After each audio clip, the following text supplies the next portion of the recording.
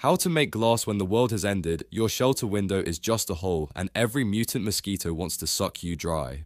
Step 1 Ingredients Glass isn't magic, it's just sand. Yep, the stuff in your shoes, in your teeth, in your nightmares. Bonus points if it's filthy, because guess what?